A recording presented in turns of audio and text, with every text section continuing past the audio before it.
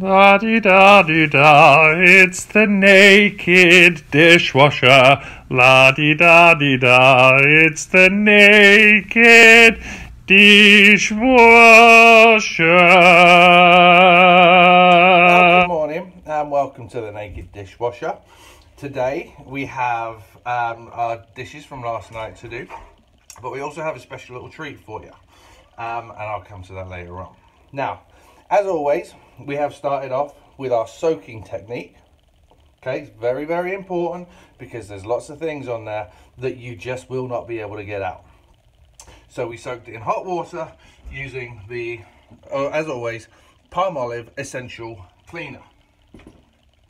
Now I wish you could be in this room because the scents that are coming out right now, it's it's just palmy and it is chemically and it gives you a lovely kind of Christmassy feeling um, at a rave.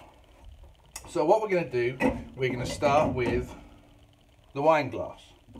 Now, as, as always, we put the water on and we give it just a little bit of a rinse off. Okay? And that's that. And as you can tell, right now, this is perfectly clean. There is no suds on it. And we put it down on our pre-prepared pre dishcloth to dry. Just like this. Now make sure when you do this, you put it upside down. Because if you don't, you see this? All the water from inside is going to get caught in there. And that is something that you do not want. Because that way, it's never going to dry. So just turn it upside down, like this, and put it down. Okay? Same goes for mugs. Okay? Now with some mugs, you need to get your little scrubber and give it a little scrub inside, okay? Make sure that you get all the corners, very, very important. And sometimes the wife wears lipstick, so you need to get all the outside as well. And of course that covers spillage as well. Now, as always, I have my faithful helper, Mr. Duperson here. Say hello, Mr. Duperson. Mr. Duperson's shy today. Once again, you got to make sure that you don't put it that way. Put it upside down. Upside down. Now, we made curry, and the curry has stuck to the sides of the saucepan. However, we've been soaking it, so as you can tell, already there's virtually no curry on there. This is going to make it a lot easier to just go in there, give it a scrub, pour it out, make sure you pour it out, very important to pour the water out because you don't want to be cleaning your dishes with dirty water. That could just lead to diseases like AIDS and syphilis. There you go, look at the inside of that. Now, you can tell still that there are bubbles in there, but other than that, it's looking pucker. So what we do is we give it a nice rinse out, make sure you rinse out the sides as well. Okay, and now that is clean as a whistle with a little bit on the side there that we forgot. Make sure, it's always important. Like they say in the builder's trade, measure twice, cut once. Okay, so wash twice, you only have to clean it once. Now this is kind of difficult because do you put it in the rack or do you put it on the tea towel? Personally, I always put these on the tea towel. You can make your own decision. I'm not telling you it's the law, but you can make your own decision. This is just what I do for ease. So there it goes. And once again, of course, you put it down, upside down. Now we've got a plate. The plates have been soaking, as you can tell, they're pretty clean already. Now we had some stuck on rice on this, okay? Because rice is sticky. It's still very important to give it a once over just to make sure you get everything off. And then rinse it off. And as you can tell clean as a whistle. Or what do we say? Pucker. Then we put this in the rack. Now the rack is very important for plates because it allows the water to drain off and that makes it a lot easier when it comes to dry. We have another plate. Once again it was full of rice stick, stuck on rice as you can tell, it's been soaking for 20 minutes. I put it to soak just before I went to the shops, okay? So it gave it a good 15, 20 minutes to soak, which gave it plenty of time to get everything off. So let's turn the water back off, okay? Give it a nice rinse off, and once again, around, around, and around. Three times is normally the best way to do this, because once you've always got a chance of missing something. Twice, you could potentially still miss something. There might be a little bit of rice that's still stuck on there. Three times, gone. Pucker. And now we've got more cups, okay? Give them a swirl inside. Rinse it out. Double rinse because you don't want any soapy residue left in there because that will make your tea taste horrible. And nobody likes a horrible cup of tea. Rinse it out, see the water coming out. And there you go, see? Nothing in there. No soap at all. Put it in there, upside down. Okay, so, as I promised you earlier, I've got lots more dishes here to do.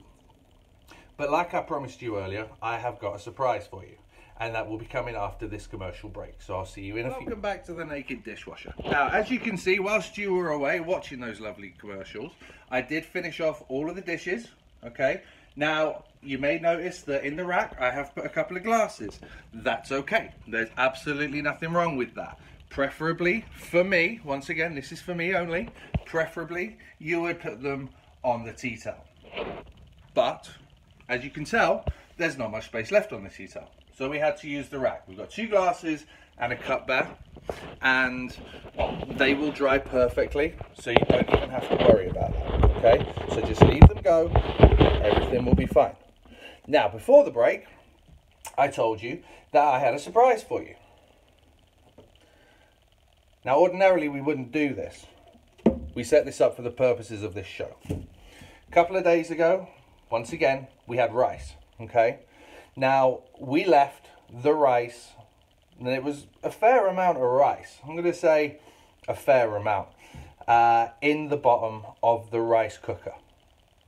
Tricky. Like I say, ordinarily we wouldn't do that.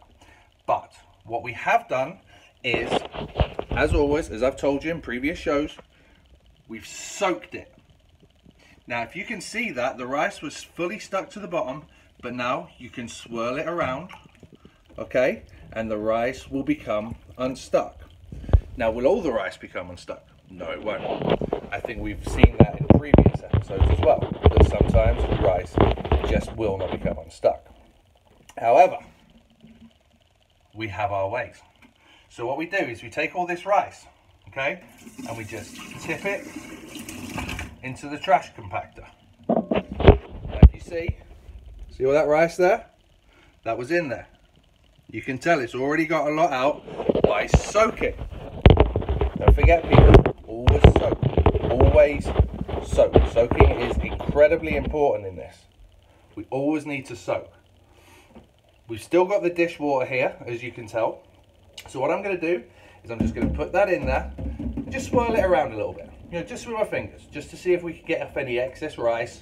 Make sure that there's nothing really big stuck to the bottom of the pan anymore. So we just swirl it around and let's see. There you go. As you can tell, it's pretty much all gone now.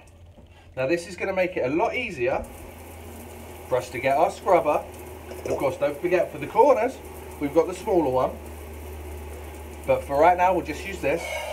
We'll fill it up with a little bit of water. And this always has detergent in it.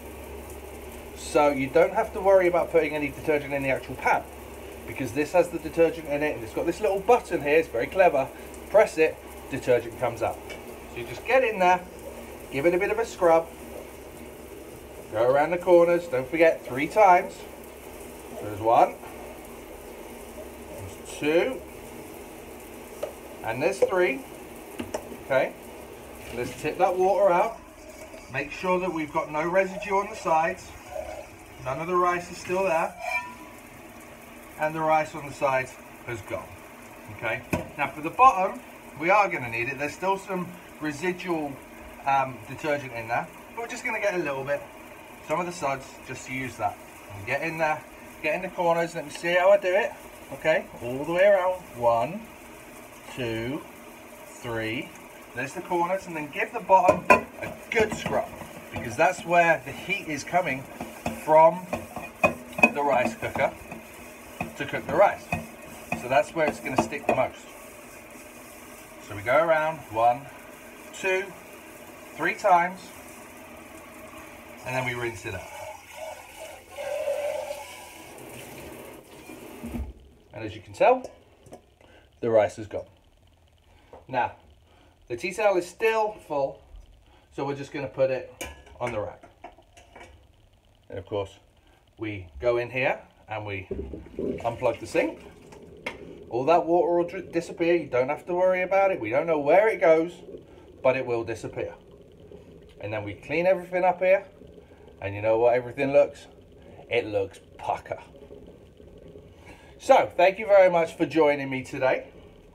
From the Naked Dishwasher, I will say goodbye. La di da di da, it's the naked dishwasher. La di da di da, it's the naked dishwasher.